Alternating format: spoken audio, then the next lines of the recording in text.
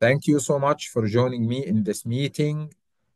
I will go through the term project required in this course.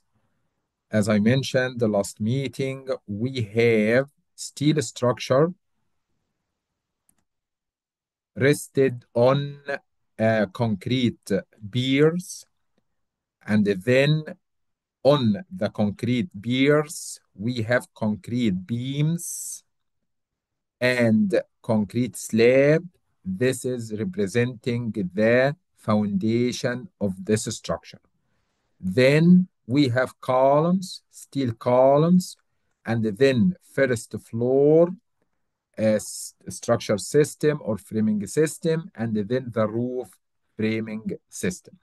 We have a little bit of uh, walls, brick walls, this L shape, and there is one more around the elevator.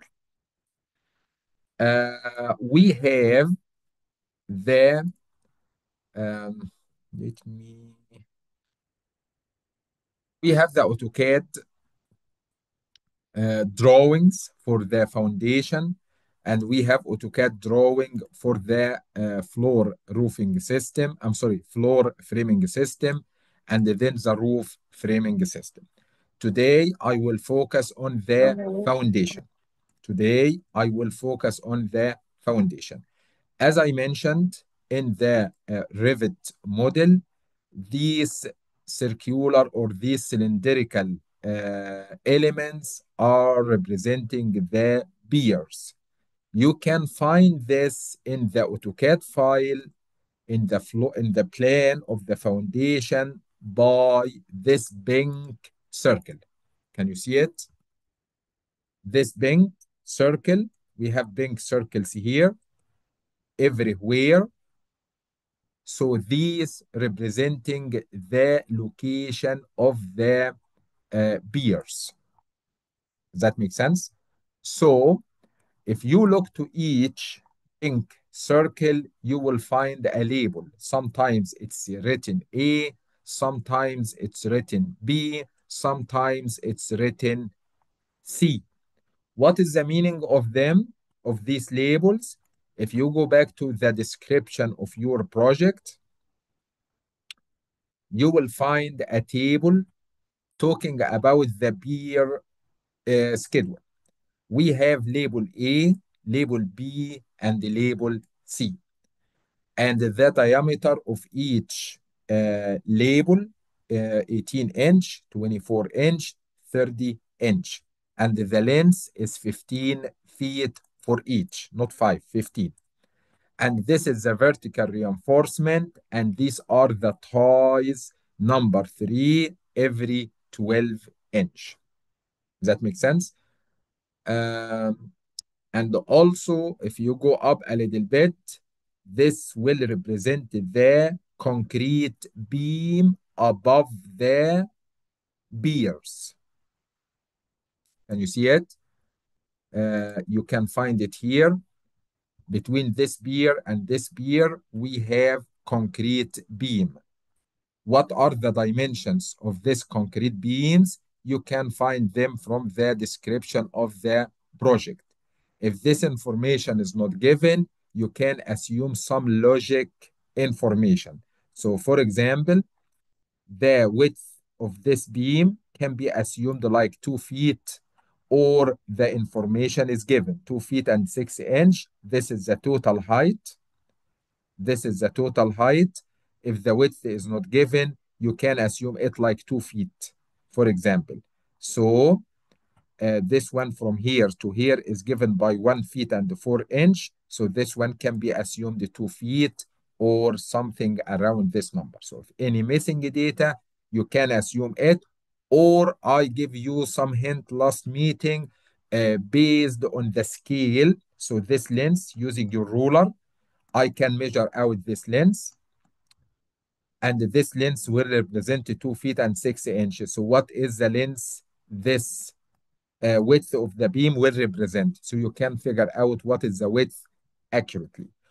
If you don't have the AutoCAD file, but if we have the AutoCAD file, I can open it and I can figure out what are the dimensions. Does that make sense?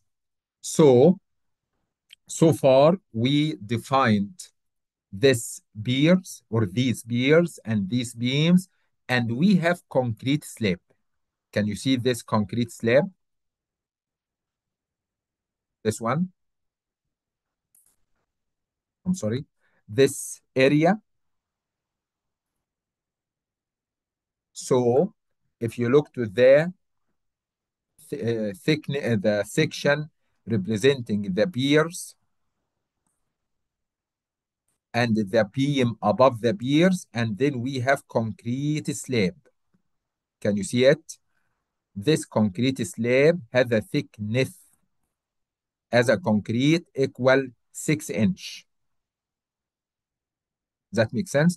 So if you are able to figure out what is the total area, what is the total area of this slab, and you have the thickness of this slab six inch, I can figure out how much concrete I need. That makes sense? Just to remind you, this information we covered it before. To figure out the total area of this plan, we have a command called area. And then you can start from here, putting click, click, click at this corner. At each corner, you can put a click on AutoCAD. If you have the files, click, click, one more click here, and you can do clicks if we have the concrete covering this area.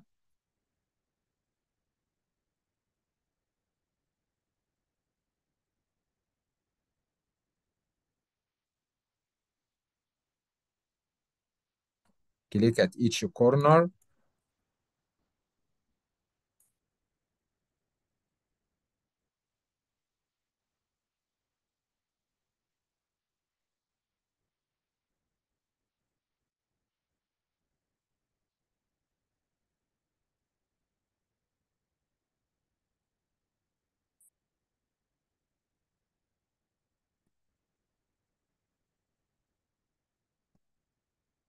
And the beginning one, then enter will give you what is the total area. The total area is 1,407.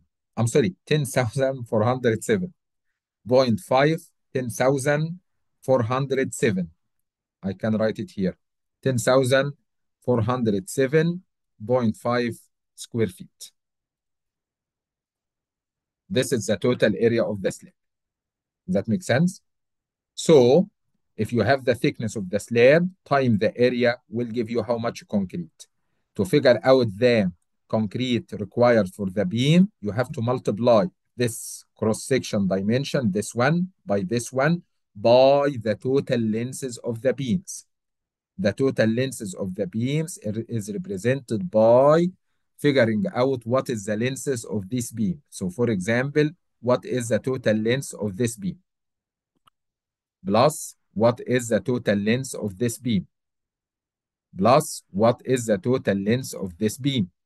So how can I figure out the location of the beam first? The, the beam will be between the piers. This circle and this circle will be represented by this double line, dashed line, in the Revit model with the yellow color. Does that make sense? So uh, we have piers. I'm talking about concrete right now. We have beams and we have a slab. Let's start to figure this out on Excel. So first of all, I'm gonna start with Excel sheet with name foundation. Probably we can another sheet for uh, uh, uh, floor framing system. And there is one more for the roof framing system. So I will have three, uh, three sheets. The first one, I'm gonna start with foundations. Keep in your mind, in the foundation, we have piers, we have beams, and I'm sorry, and we have a slab. That makes sense? Be organized, please. So we have shear for the foundation, and in the foundation, we have beers, we have beams, we have a slab. For beers, we have beer A, we have beer B, we have beer C. The diameter of pier A, this information can be found from this table. The diameter of uh, pier A is one and a half. Make your dimensions in feet. It's better. So one and a half, 1.5. I can say this is the lens. I'm sorry, I'm sorry. This is the diameter. And the lens is 15 feet. For BRB, the diameter is 24 inch, which means 2 feet, and the length is 15. BRC is 30. 30 means, I think, two and a half inch, and the length is 15. What is the number? So we have diameter. You can write here beside diameter in feet. This is up to you. All of these details, it's up to you in feet. This is the number. How many? How many pairs of uh, label A? If you open your AutoCAD file, I will count how many pairs with label A. So we have one, two, three, four, five, six, seven, eight, nine, 10, 11, 12, 13, 14, I think 15, 16, 17, 18, and 19, 20, 21, 22, 23, 24, 25, 26, 27, 28, 29. Don't be confused. Uh, 30, 31, 32, 33, 34, 35, 36, 37, 38, 39, 40, 41, 42, 43, 44, 45. I can say it's 45. Maybe I missed one or two. That's fine. 45. Which, how many uh, beers of label B I will open. It's up to you. You can open uh, this one if you have it. So you can count how many beers of label B. Since I have the AutoCAD file, so I can label for label B. So we have one.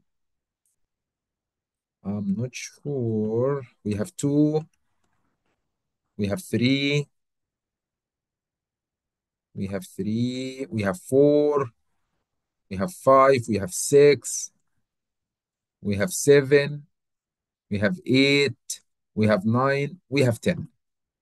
So looks like we have 10 beers of number of label B. Label C, how many? Label C, I did not see many of label C, but let me review. We have one, we have two. I think they are the only two beers we have of label C. Is it correct? I think so. Okay, we have two. So it looks like the total number for this uh, structure is around 57. Okay, so what is the volume of concrete for each? I don't need to remind you that the volume of a cylindrical shape is the cross-section area time its height. Time its number, how many? So I will say equal, what is the cross-section area? By 3.14 divided by 4. This is by divided by 4 time diameter square.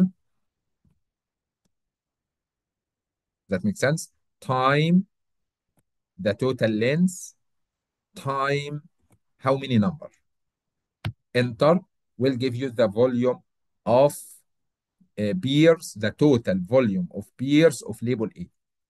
You need just to go back to this cell and grab this point down, down will give you what is the total volume for each uh, beers. Uh, uh, uh, so I will say the total amount, or with this total will be in cubic feet, will equal sum of all of these numbers. Enter. You can find out the total in cubic yard. What you need to do just to put here equal this number divided by 27. So the total volume of concrete for all of these beers, 67 point something cubic yard. When you are reviewing, assume, assume, we are reviewing the plan one more time. I discovered that, unfortunately, the number of beer C is not 2, it's a 3. What you need to do just to come back and correct this number to be 3, enter, everything will be changed. That makes sense? This is the reason why we are using AutoCAD, uh, I'm sorry, Excel, to help you to understand or to easily uh, uh, uh, modify your calculations. If you would like, we can move forward. Rebars. How many rebars for beer number A? I'm talking about, to be more specific, vertical rebars.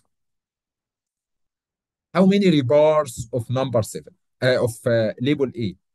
If you go back here, for beers of label A, we have six rebars, number seven. So we have six. And this is the number, or I can say this is the weight beer foot. I can find it from the table. So I need to open my table. You have it? Uh, I don't have it right now, but I can find it. Just a moment.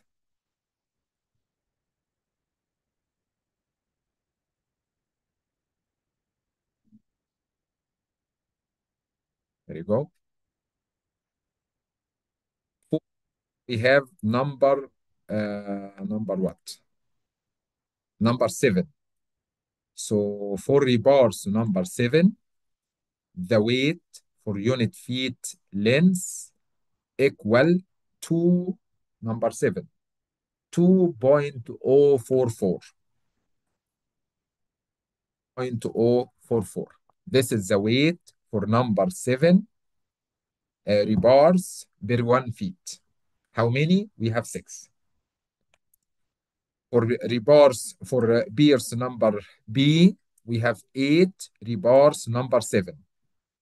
We have eight rebars and the weight will be the same because we have the same size. For beers uh, uh, C, we have eight rebars number eight. We have eight rebars number eight. Number eight has a weight equal 2.67. So I can tell you what is the total weight equal how many rebars? Six. Time. What is the total length of each rebar? 15, which is the same length of the beer. Time. What is the weight for unit length of one rebar? 2.044 pound. Enter. So I need 100 83.96 pound just to construct one pair of label A. So I forget to add time. How many, how many pairs of label A? We have 45. So I multiply the number of rebars time the length of each rebar time the weight of unit length of rebar time how many beers of this label A. That means I will need 8,278.2 pound of these rebars. The same will be done for A, B, and C. Just to grab this one down. Will tell you what is the weight of rebars, vertical rebars for each. If you would like, I can tell you the total in pound will equal sum all of these numbers. Here you go. If you would like, I can tell you the total in ton equal this number divided by 2000. So I need 5.7 a uh, ton of steel, of vertical steel rebars. But to be more specific, because we have two different sizes, so I need to add these two together because both of them number seven, and this one alone because this one is number eight. Okay, what about the ties? Keep in your mind, we have ties. We have number three, repeated every 12 inch. So the diameter of these ties, if you remember, if this is the diameter of the pier, so the diameter of the tie will be offset with this concrete cover. If you assume this concrete cover, for example, uh, 4 inch from this side, we have 4 from the other side. So the diameter of the uh, tie will equal the diameter of the beer minus 8 inch. So diameter of the tie equal diameter of the beer minus 8 inch. If you divide that 8 inch by 12 to convert it to feet, so this is the diameter of the tie. The perimeter of this tie will equal by time this diameter of the. Does that make sense? And we have number. So let's start with the tie number. How many ties? Equal the length of the beer divided by the spacing, which is 12 inch, which is one feet. And I will add plus one, because if you divided the length by the spacing, will give you how many spacing. But if you add one, will give you how many uh, ties we expect. These are the numbers of ties in each pier. What is the perimeter of each tie? I can tell you equal by 3.14 time diameter. Do you remember what was the diameter? Equal the diameter of the pier minus 8 inch divided by 12. So by D will give you the perimeter of each tie in each pier. So the diameter here will be 2.6 feet. The diameter here will be 4.1 feet. The diameter here will be 5.7 feet. That makes sense because the diameter of this pier is bigger than this one, is bigger than this one. So if you have bigger circle, that makes sense. We will have bigger tie. This tie will be like this. This tie will be bigger. This tie will be bigger. Because in each, I lift 4 inch from this side and 4 inch from this side. So I can say the diameter of the tie equal the diameter of the beer minus 8 inch. I divided it by 12 to convert it to feet. That makes sense? For weight bare foot, for number three, if you open your table, number three has a weight 0.376. 0.376. 0.376 because all of them is number three. All of the beers are number three, number three, number three. So the weight will be the same.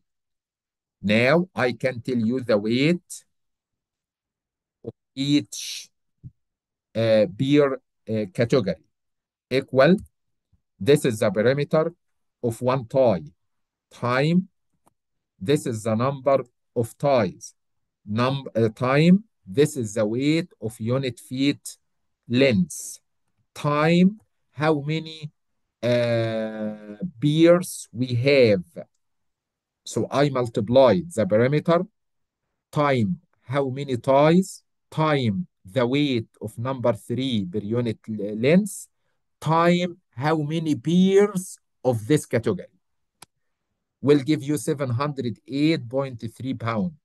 Just to grab this one down will give you the weight for each category.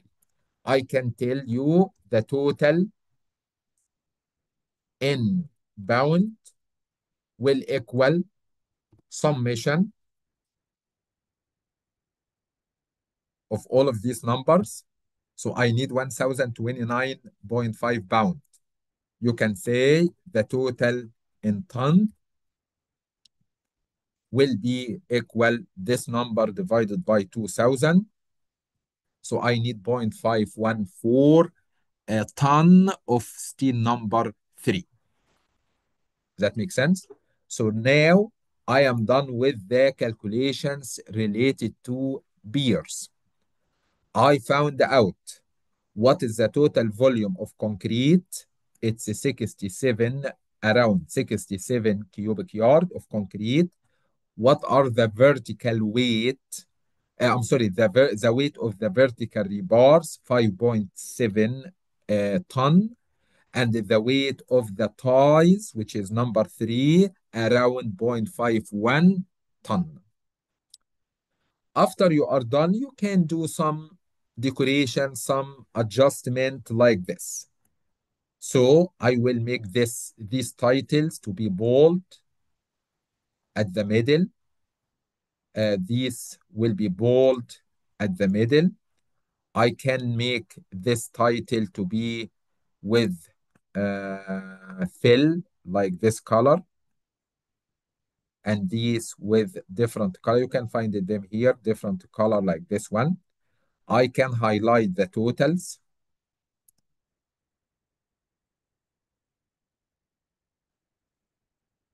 I can light here, this is concrete, to remind. This is the vertical rebars. These are the ties. Does that make sense? So, that makes sense. If you would like, you can uh, highlight all of them, right-click copy. I'm sorry, right-click copy. And you can open your Word, right-click, paste as a photo, as a picture. Or you can right-click as this one, so it will come as a table. So you can change anything here. But if you change anything here, the final will not be changed because we are not in on Excel right now. So it's up to you. I can get them here as a picture. Then go ahead and work with AutoCAD, with the Word to say this is the beers cal calculations.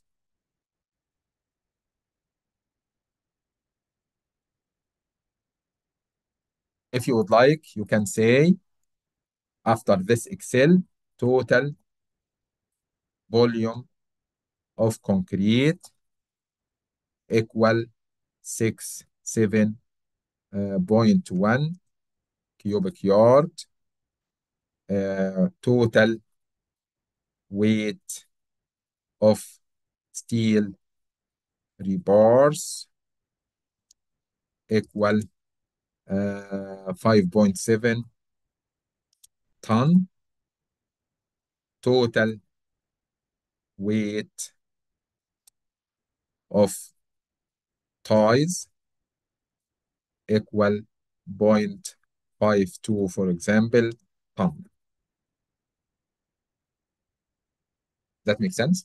And you can adjust uh, the format here. Make it bold underline. You can make them bigger bold something like this. This is for the piers. The second one for the beams your beams what are the dimensions? What is the b what is the t? What is the total length? I'm talking about the beams in the foundation level. Go ahead and let me know what is the total length of these lines. With your calculator, you can find out the total length of these lines.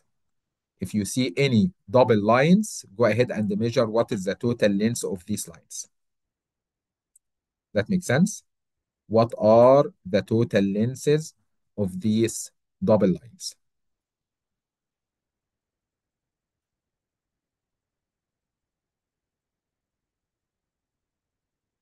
It's not a big deal. Just take your time. Maybe you will spend a few minutes to figure out what are the total lenses. Assume, so we can say, I can tell you roughly what are the total lenses if we assume 15 plus 28 plus 16 plus 11 time 1, 2, 3, 4, 5, 6, 7, 8. I can say it's around probably, find it here, 131 time. We have 1, 2, 3, 4, it's around 1084. So the total length is 1084, roughly. It's not accurate, but it will be around this number. So the length in feet, the thickness in feet, the width in feet. If you remember, the total thickness is two feet and a half. 2.5. The width, if you can find it, the width, that's fine. But I think the width is smaller than the depth. So we can assume it two feet. Looks like two feet. I am done. You are done with what? With the volume of concrete. Your volume will equal B in feet time T in feet time the total lenses of the beams equal 5,420 cubic feet. So the total in cubic feet will equal this number. That's it. If you would like, the total in cubic yard will equal this number divided by 27. That makes sense? So just only for the beams, we need 200 cubic yards. It's too much. So guys, how to price uh, these materials? It's very easy. Just a, a small call to the concrete company asking what is the price of cubic yard. If the company responded, we have $200, so you need to multiply this total cub, uh, cubic yard by 200 bucks. You can get the total uh, price of concrete. The same here for the beams. That makes sense? Let's start talking about the rebars. If you look to the cross section, we have some rebars at the bottom, some rebars at the top, some rebars at the middle. Go ahead and count how many rebars do you have. We have one, two, three, four, five, 6, 7, 8, 9, 10, 11, 12, rebars. What is the weight per foot. I mean, what is the size? If the size is not given, we can assume any missing data. Maybe, maybe we can assume it number five. So I may, I may, it's up to you. If any missing information, you need to call the designer, asking him, uh, hey, we are missing some information from your drawing. What are the size of these rebars? Uh, we need to clarify any missing data during the design. So we can assume it's a number five. So I will open my table for number five. The size, uh, the weight is 1.043.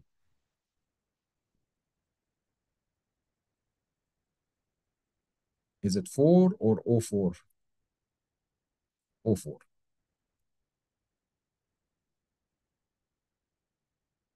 What else? Uh, so the weight will be very easy because the number of rebars time the weight, the unit length weight of one rebar time the total length of these rebars. The total lengths of these rebars equal the total lengths of your beams. I need 13,567 pound. This is the total in pound. Equal the same number. The total in ton. What you need to do, just equal this number divided by 2,000. I need 6.8 ton of this steel rebars for the beams. I'm not sure if this information is given or not, but you have to find it out. As you see, we have ties. We have ties. And this ties is repeated probably every uh, 12 inch. That makes sense? This information also is not given. So we can assume the ties is number three and every at 12 inch. That makes sense? So first of all, what is the total parameter of these ties? Talking about ties. Let's start with the number. I can tell you the total number of ties equal the total lengths of the beams divided by the spacing between ties, which is 12 inch, 1 feet, plus 1. Keep in your mind, if you would like to figure out the numbers, the total length divided by spacing plus 1. So I need 1,885 ties. What is the perimeter of each tie? The perimeter of each tie is a long story because you have to measure the length of this side, plus this one, plus this one, plus this one, plus this one, plus this one. No, we don't have one here. Plus this one. Probably, maybe, we have some overlap. What you mean by overlap? I mean the this one looks like this lens as one rebar, and we have one more here and probably we have one looks like this. That makes sense? So you have to measure the total lengths of one tie. What is the total lengths, the perimeter? That makes sense? So we can say we have this width after you subtracted the concrete cover from this side and this side. So you can assume the, the total perimeter, for example, uh, let me do it here just quick. Uh, 2.5 times 2, 2, 2 times 2, around 14. We can assume it's 14 feet.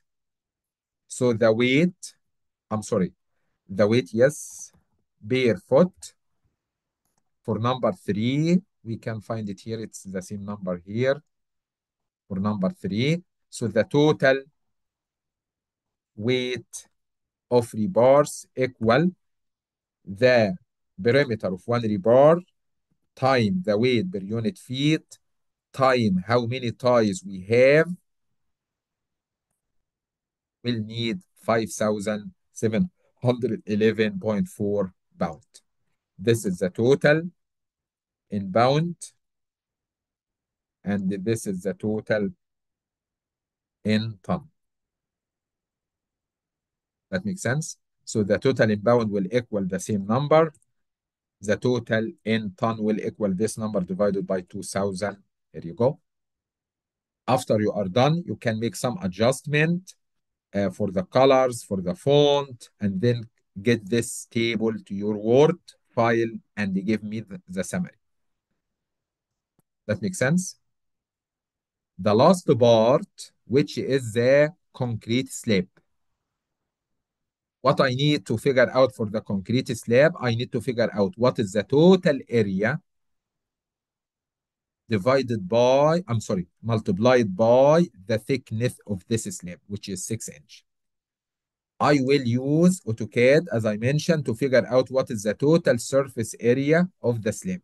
And I found it, it was 10,407. So for the slab, the total area, it was 10,407 square feet. It's very important to put your uh, units beside each uh, title. What is the thickness? Your thickness is, I can put the thickness in feet. It's 0.5. 6 inch means 0.5. So the volume of concrete will equal the total surface area multiplied by the thickness will give you the total in cubic feet. If you would like the total in cubic yard, so the total cubic feet equal the same number, the cubic yard equal the cubic feet divided by 27. So for the slab, I need to order 192.7 cubic yard. So now I can tell you the volume of concrete for the piers only 67, for the beams 200.7, for the concrete slab 192. That means we are going to pay much money just for foundation. So the total is around, you are talking about almost 500 cubic yard. Imagine 500 each cubic yard will cost you around 200 to 300 dollar. So you are talking about 300 dollar times 500 cubic yard. It's almost 1 million and a half. 1 million 500, uh, I'm sorry. No, no, no, no. Uh, $150,000. $150,000 just to buy concrete. We did not talk about equipment. We did not talk about workers. We did not about talk about anything else, just concrete. We did not talk about the reinforcement, nothing, just concrete. So after you are done with concrete for the slab, we need to figure out the rebars. I will not do it, just leave it for you. So you can do some uh, on your own, but I would like to remind you to figure out the uh, uh, uh, the weight of the rebars. First, what is the size of each rebar? I'm gonna assume it's it's number four. You can assume whatever you want. Second, what is the total length of each rebar and how many rebars? These are the three uh, numbers you need to answer. What is the size? How many rebars we have? What is the length of each rebar? Once you get all of this information in your slab, I can multiply the weight, the unit weight length, time the number of rebars, time the total length of these rebars, I can get the total weight of the rebars for your slab. Keep in your mind, we have rebars this way and rebars this way. I mean, we have rebars butting this way and we have rebars butting on the other way to create your mesh in your slab. So please consider both of them. Keep in your mind, we have rebars with this lens, we have rebars with this lens, we have rebars with this lens, we have rebars with this lens. So the lenses of the rebars is different. Does that make sense? And in the on the other side, we have rebars with this lens and rebars with this lens and rebars with this lens. So we, they are different. That makes sense? So I'm gonna leave this part for you to complete it. Once you complete it, I am done with the foundation. Because your foundation has only three parts. As I mentioned, we have uh, piers, we have concrete beams, we have these uh, slabs. Once you are done with the three parts, we are done with the foundation. Next meeting, I will talk about the floor framing system.